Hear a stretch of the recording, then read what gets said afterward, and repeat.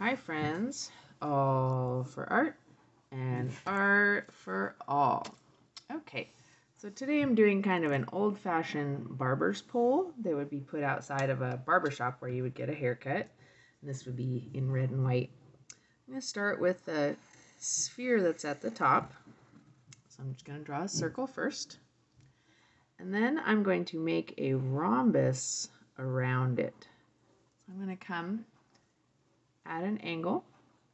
And then this direction, boop, I'm going to match over here. And then this direction, boop, I'm going to match over here. And now it's on a flat surface. And I'm going to come straight down, straight down, and straight down from each corner. And make a parallel line for the stand. And then roughly centered, I'm going to come straight down. And then over here, straight down. And this is a column, so it's a cylinder shape, so I'll give it a round contour. And then it's going to be standing on a, what we call a plinth, maybe, um, standing on a base. So I'll try and keep that same angle. So this one's going this way. I'll try and go this way. In this direction I'm going to copy over here. So whoop, whoop, whoop, whoop. And then straight down, straight down, straight down from each corner.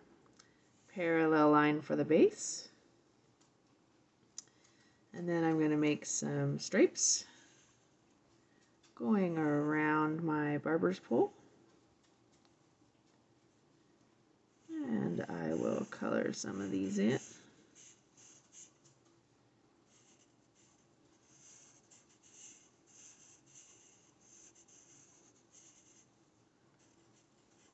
And then we're going to go ahead and put some shading on it. We're going to do cross hatching, which are hatch marks are these kind of marks at an angle actually technically to be a cross hatching I'd have to cross them and put them put a little X there. So this is a way of shading without drawing it 100% black. So let's say I'm showing the dark side of this. And then I don't have a gray marker so I'm using my my pen to make some marks. And then this would cast a shadow that way. And then there'd be one side of the ball on top that couldn't get light. And it would have a shadow behind it too.